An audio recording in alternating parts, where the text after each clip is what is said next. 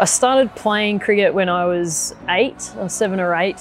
Uh, we just moved down from Sydney, obviously being a Healy, we're all born in Queensland and um, we made the, the risky move down to New South Wales and um, I started playing down here just at the local cricket park, I think it was, um, in Milo cricket back in the day. So that was where I first sort of got a taste of it. Obviously having the last name Healy I'd obviously been exposed to cricket a lot, watching Uncle Ian on the telly, um, seeing Dad play every Saturday down at the local cricket club. But um, it was my first experience, and, and from there I sort of fell in love with it, and it just seemed to be my constant. Every summer I'd, I'd play, you know, hockey and all sorts of sports in the winter, and then come summer it'd be cricket. So progressed through the boys' ranks at, at Carlingford um, Waratahs, and um, yeah, and ended up playing for Australia. So it's it's been a pretty remarkable journey.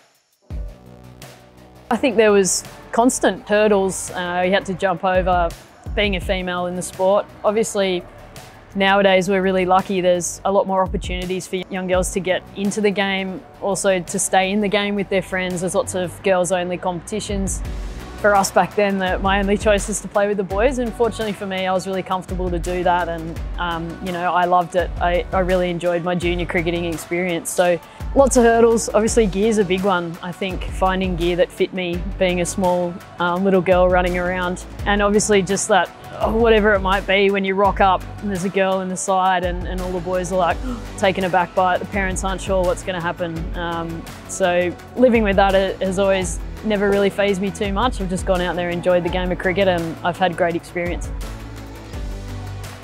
I think probably naturally within the family watching Uncle Ian wicket keep was um, yeah, it was just a really cool, cool thing to watch. I think at the time I wasn't probably appreciative of what he was doing and how good he was. Uh, it's probably only now that I'm doing the same thing that I, that I can appreciate um, just how good of a gloveman he was. So once I sort of discovered women's cricket and, and saw there was a, a, women's team, which was actually right here at Bankstown Oval, Dad brought me out and we watched the girls play. Um, I saw Julia Price um, take a hanger in front of first slip just here and I thought that was pretty cool. So, you know, if I could be somewhere between Uncle Ian and Julia Price, I thought, you know, maybe I could one day play for Australia myself.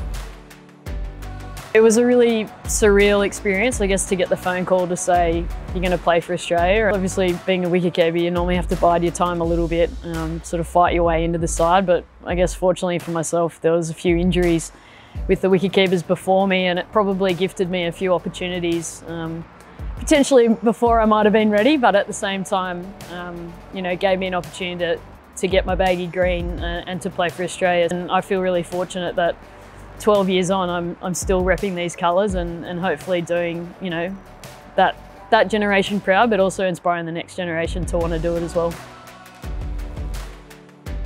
The bats are always amazing, but I guess for, for me, it's just a really exciting day to know that us as, as female players or potentially smaller players are, um, are going to be well looked after. I think it's, um, it's a momentous occasion, I think, after playing the game for as long as I have. And um, and seeing what you know all the generations have done to the women's game to see um, Kookaburra really jump in behind the women's game and support it um, yeah means a lot to us as cricketers but but also to, to someone like myself who's never swung anything other than a Kookaburra. All I wanted to use was a Kookaburra bat and I was fortunate enough to be, get given one at 15 years of age and, and I never I've never used anything else. So for me it's um, it's really exciting and um, I'm incredibly proud to be as loyal as what I have been to Kookaburra and to see them turn around and, and repay that loyalty with um, some amazing equipment and, and something that's going to be really suited to the women's game is, is really exciting. So um, yeah, I'm really pumped and like I said, I think the colours are awesome and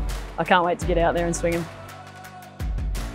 Yeah, I think these are awesome. Probably one of the main reasons that I've always wanted to use Kookaburra was because of the wicket-keeping gloves and obviously pretty iconic with the Healy name, but um, for myself, they were always just the best, um, the best, best looking, um, the best made, and um, you know, after what 12 odd years at international cricket, I can still say that they are. So uh, this is really exciting, and obviously to have um, a pair that you know, are going to fit really nicely, especially for someone like myself who has the smallest hands on the planet and was always destined to be a wicketkeeper because there's no chance I can catch them without a pair of gloves. So uh, I'm really excited to put these in and know that you know, I'm going to have a really snug fit. Um, they're going to fit me nicely and, and hopefully the balls can, can stick in there and take a few dismissals.